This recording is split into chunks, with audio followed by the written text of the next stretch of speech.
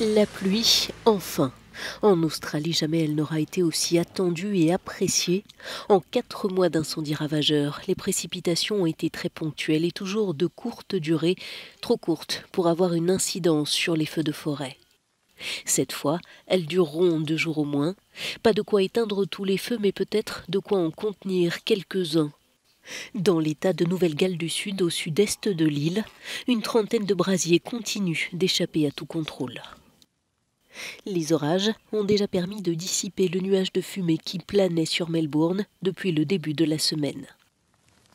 Ces incendies, les plus graves qu'ait connus l'Australie, pourtant habituée à ces crises saisonnières, ont fait 28 morts, détruit plus de 2000 habitations et réduit en fumée quelques 100 000 km, davantage que la superficie du Portugal.